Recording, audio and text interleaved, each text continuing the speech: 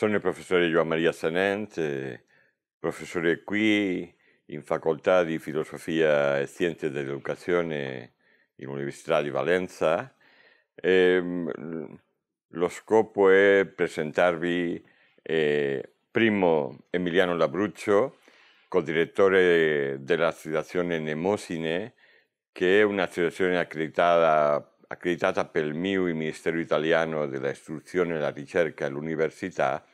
per la formazione dei docenti.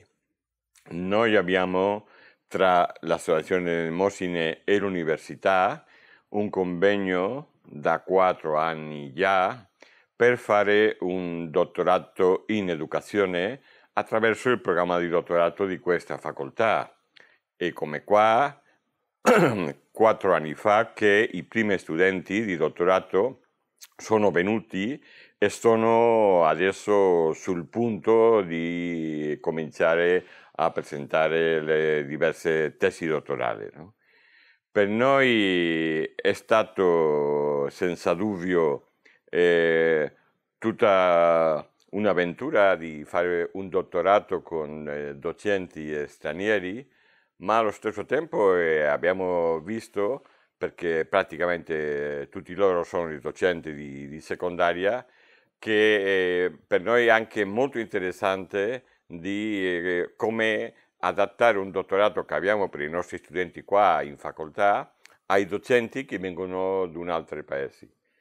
E per voi, dal punto di vista di Nemosine, cosa significa questo dottorato? Ma sicuramente un motivo di crescita eh, per noi è stata una nuova sfida perché ehm, come è noto il sistema eh, di reclutamento intanto del, in Italia per accedere al dottorato è un sistema molto chiuso. Quindi avevamo la necessità perché essendo un, eh, un ente che si occupa della formazione in particolare dei docenti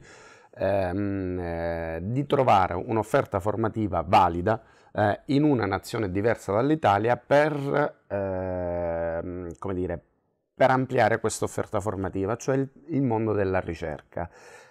Eh, abbiamo analizzato i vari sistemi dei paesi diversi rispetto all'Italia e quello che ci abbiamo trovato eh, come dire, molto vicino al nostro eh, e molto simile per per struttura, perché comunque tutti eh, oggi recepiamo ehm, eh, come dire, il Real Decreto 99-2011, è molto simile per struttura al dottorato italiano, con la differenza fondamentale che pur essendo un dottorato a numero chiuso, ma un numero di posti un po' più ampio, quindi potevamo, ehm, come dire, procedere con questa idea che era l'internazionalizzazione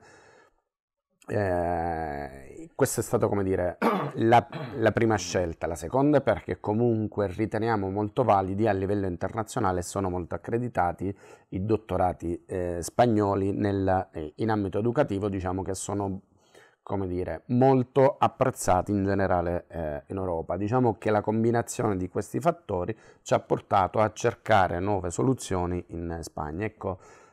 chiaramente eh, riteniamo eh, molto eh, validi quelli dell'Università di Valencia, ecco perché ci siamo avvicinati così tanto, eh, grazie al professore Gian Maria Jesus Suarez, eh, a questa nuova avventura.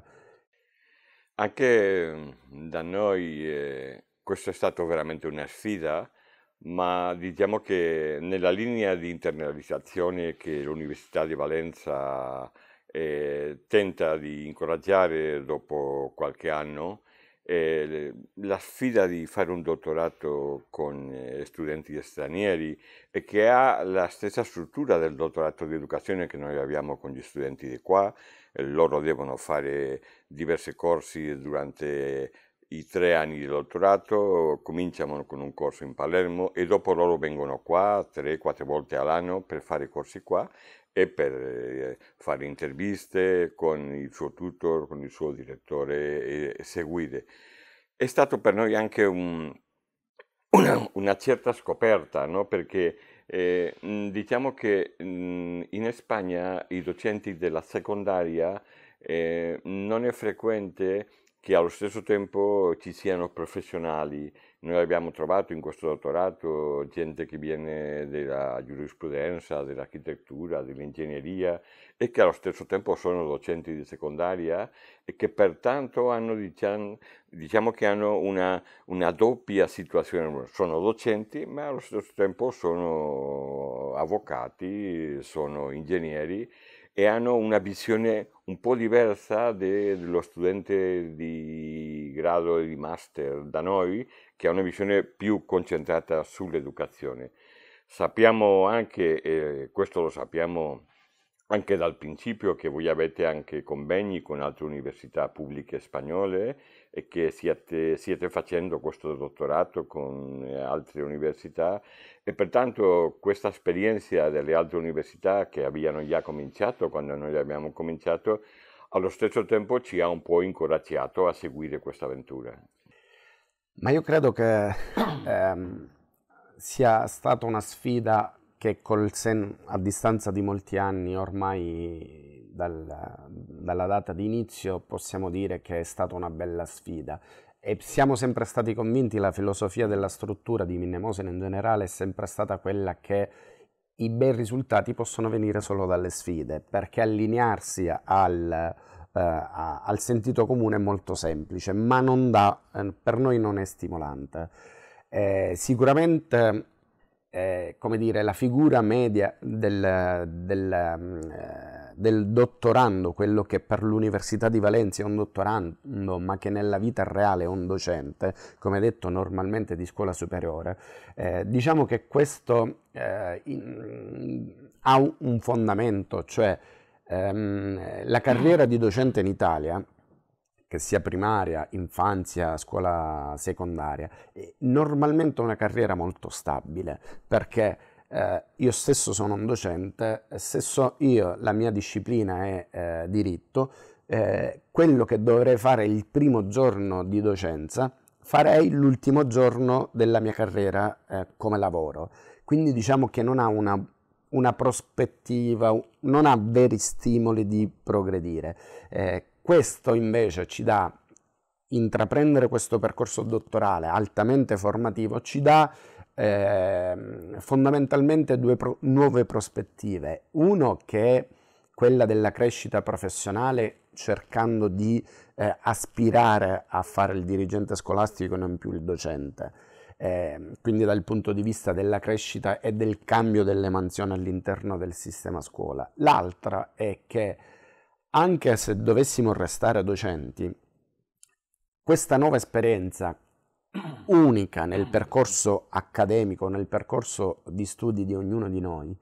ci dà la possibilità di eh, vedere il nostro lavoro e di utilizzare strumenti, metodologia, approcci molto diversi che fino ad allora non conoscevamo, perché normal, queste, ecco perché noi puntiamo molto nell'internazionalizzazione, perché mettere a confronto sistemi educativi diversi e in questo caso specifico il sistema educativo italiano con il sistema accademico spagnolo ci dà la possibilità di avere una visione eh, del nostro lavoro diverso, quindi di poter spendere le nostre competenze